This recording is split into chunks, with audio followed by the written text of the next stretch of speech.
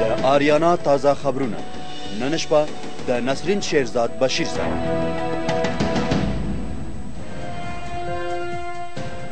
د امریکایي ځواکونو لخوا افغان حکومت ته په پوره ډول د بګرام د زندان سپارل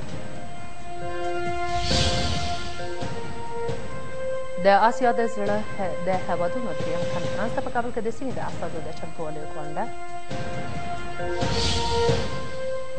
او د وسلو د نړیوالې سوداګرۍ د تړون پر لایحې د عفوې د نړیوال سازمان نیوکې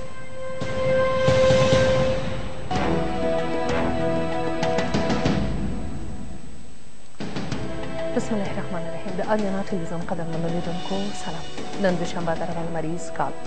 د وري پنځمه چې د دوه زره دیارلسم کال د مارچ له پنځه ویشتمې نېټې سره سمون خوري د اس اس او کال ژوند پک د پام کړی دی مهال بشپړو خبرونو ته د افغان حکومت او امریکا د پوځي چارواکو ترمنځ تر څو اونیو ناندریو وروسته د بګرام زندان په پوره ډول افغان امنیتي ځواکونو ته وسپارل شو له تیرو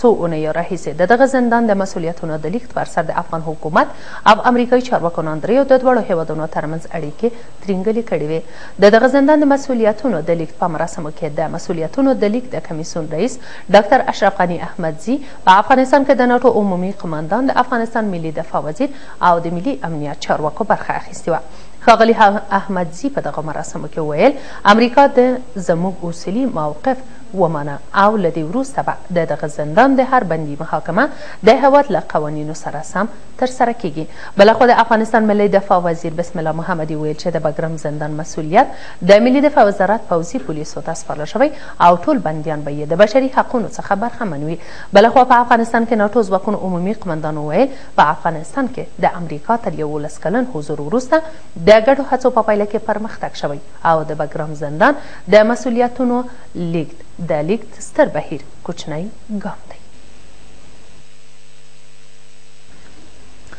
په همدې حال کې د بشري حقونو خپلواک کمیسیون او مدني ټولنې افغان حکومت ته د بګرام زندان له سپارلو هر کړی کوي او له افغان دولت څخه غواړي چې د دغه زندان له بندیانو سره د نړیوالو قوانینو له مخې چلند وکړي. د افغانستان د بشري حقونو خپلواک کمیسیون وایي چې د بېګناه او مجرمو بندیانو ترمنځ باید توپیر وشي. بلخوا مدني ټولنې د بګرام زندان د بندیانو د راتلونکي په باب له افغان دولت څخه د ضمانت غوښتنه کوي. له هغه وروسته چې امریکا د باګرام زندان په پوره ډول افغان حکومت ته وسپاره، د افغانستان د بشري حقونو خپلواک کمیسیون له افغان دولت یو لړ غوښتنې مطرح کړې. دغه بنسټ له افغان دولت څخه غواړي چې د باګرام د زندان له بندیانو سره دې د نړیوالو قوانینو له مخې چلن وکړي. اجراء مدیریت خود زندان بعد از تسلیمی مدیریتش به گونه باشد که تمام محتوای قانون محابس و ترخیفخانه ها باید رعایت شود در قسمت کسایی که تحت حفاظت قرار داره در محبس در تعیین سرنوشتشان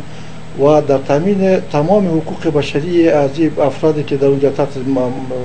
حفاظت قرار داره در مطابقت با قانون محابس و ترخیفخانه باید عمل شود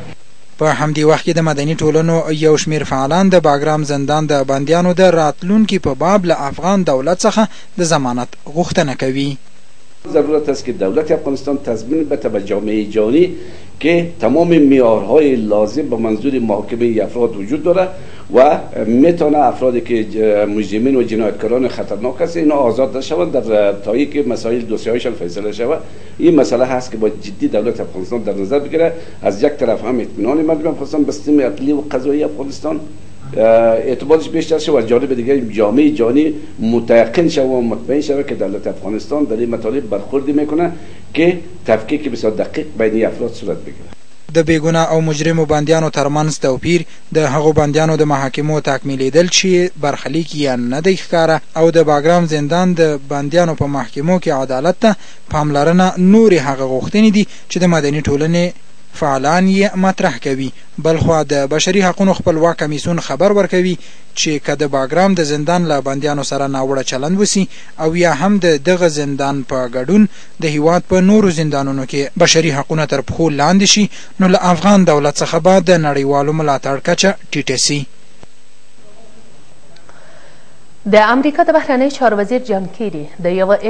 نا اعلان شوي سفر په ترڅ کې کابل ته ورسېد. ټاکل شوې چې ښاغلی کیریبا د افغان ولسمشر حامد کرزي په ګډون له لوړ پوړو افغان چارواکو سره وګوري او په دوه اړخیزو موضوعاتو به ورسره خبرې وکړي. یوې امریکایي مقام رسنۍ ته ویلي چې ښاغلی کیریبا د دغه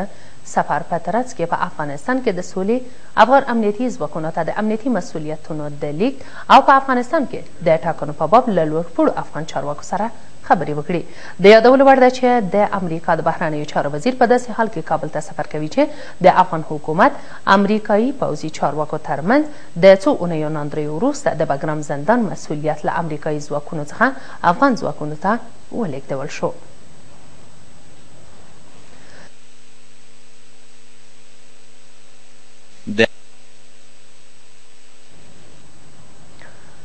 نن په کابل کې د سیمې د هېوادونو استازو د اسیا زړه د هېوادونو د کنفرانس د تیاري غونډه وکړه. دا غونډه به په الماتا کې جوړه شي. په دغه کنفرانس کې به د سیمې د هېوادونو په کچه له ترهګرۍ او جرایمو سره د مبارزې پر څرنګوالي او د دغو هېوادونو ترمنځ د باور د فضا په جوړولو خبرې وشي. د افغانستان د کورنیو چارو وزارت وايي چې د سیمې هېوادونه له ګډو ګواښونو سره مخامخ دي چې د دغو ګواښونو د مخنیوي لپاره په سیمه ایزه کچه همکاریو ته اړتیا ده.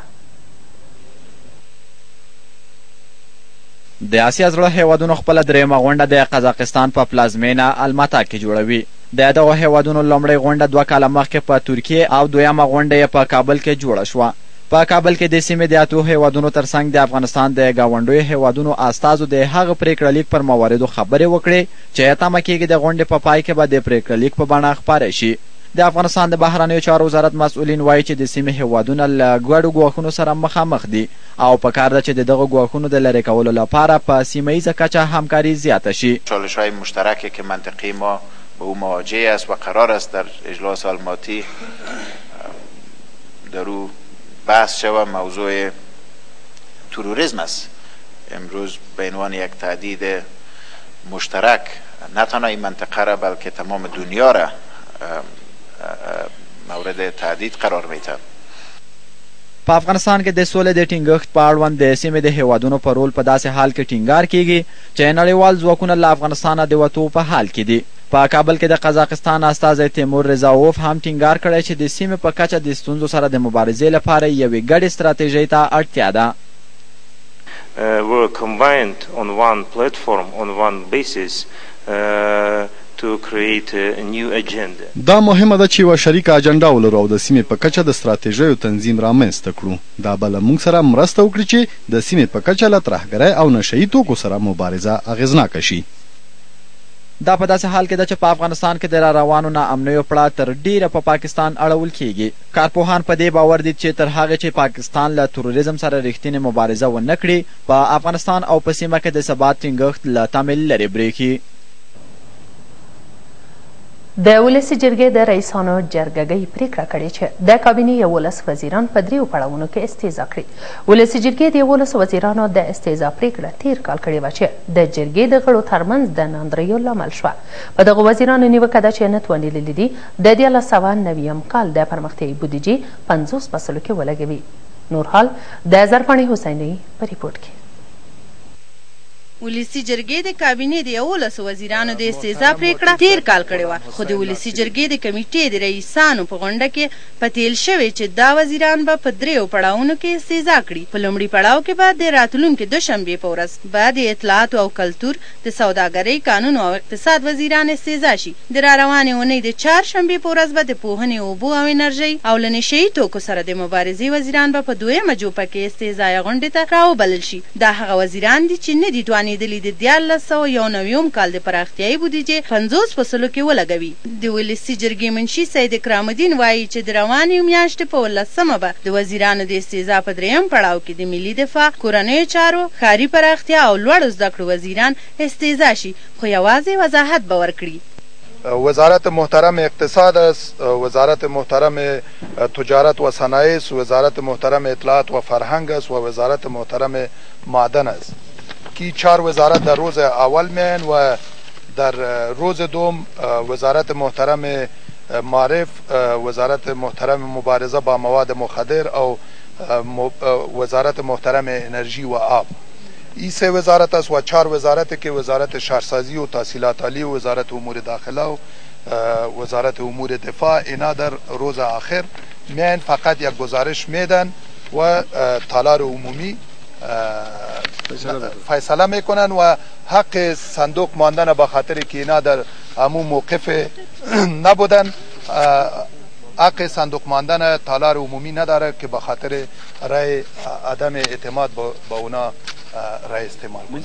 تر دې مخکې د ولسي جرګې یو شمېر غړو د جرګې په اداري پلاوي نیوکه کوله چې له استیضاح کېدونکو وزیرانو سره شخصي اړیکې پالي او کوښښ کوي چې دغه وزیران له استیضاح وژغوري. د ولسي جرګې د سږنۍ دورې څخه د مدني او سیاسي بنسټونو لویه تمه دا ده چې هر څومره زر د ټاکنو د نوي قانون تصویب ته لومړیتوب ورکړي چې د ولسي جرګې منشي وايي جرګه به د وري په نولس مه د ټاکنو د نوي قانون د تصویب غونډه جوړه کړي.